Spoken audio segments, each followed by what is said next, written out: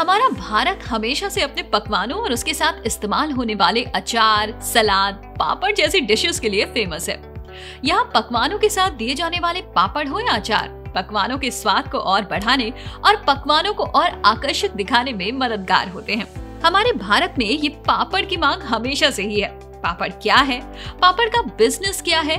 पापड़ के बिज़नेस के लिए रॉ मटेरियल क्या होते हैं? पापड़ बिज़नेस से जुड़ी ज़रूरी जानकारी क्या है? पापड़ बिज़नेस में कौन सी मशीन इस्तेमाल होती है? पापड़ बिज़नेस की मार्केटिंग कैसे करें? घर पर पापड़ बिज़नेस कैसे शुरू करें? पापड़ बिज़नेस में लागत कितनी लगती है?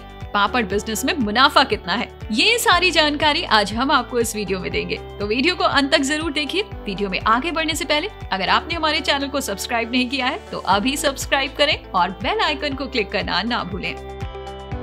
पापड़ बनाने के बिज़नेस के लिए ज़रूरी मशीनरी पल्बलाइजर मशीन सारे मसाले और बैटर को पल्प बनाने के लिए। Flour mill machine grinder machine मसालों को पीसने या कोई सामग्री पीसने के लिए। पापड़ मेकिंग मशीन पापड़ को ज़्यादा बनाने में इस्तेमाल की जाने वाली मशीन ड्रायर पापड़ सुखाने के लिए। पैकिंग मशीन पापड़ों को पैक करने के लिए।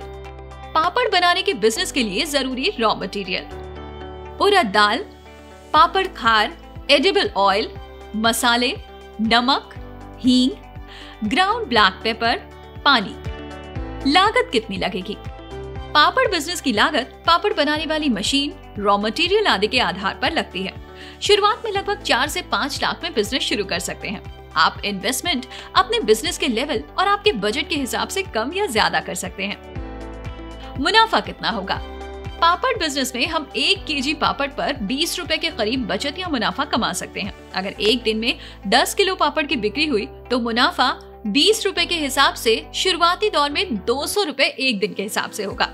तो महीने का लगभग छह हज़ार तक मुनाफा शुरुआत में हो सकता है। धीरे धीरे सफलता और पहचान बढ़ने से ये मुनाफा बढ़कर बीस हज़ार से पच्चीस हज़ार तक भी हो सकता है।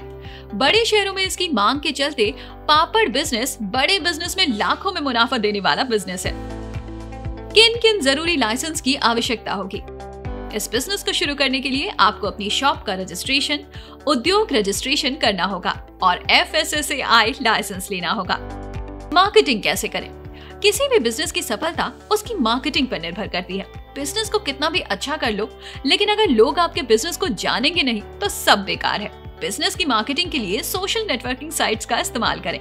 इसके अलावा poster banner business card pamphlet बनवाएँ और आसपास उसे लगवाएँ, जिससे ग्राहकों को आकर्षित किया जा सके। तो ये थी पापड़ बनाने के बिज़नेस की पूरी जानकारी। अगर आपको ये वीडियो पसंद आया तो लाइक और शेयर करें और ऐसे और बिज़नेस आइडियाज़ के लिए हमें कमेंट करके ज़रूर बताएँ। ओके क्रेडिट बिज़नेस ओके है।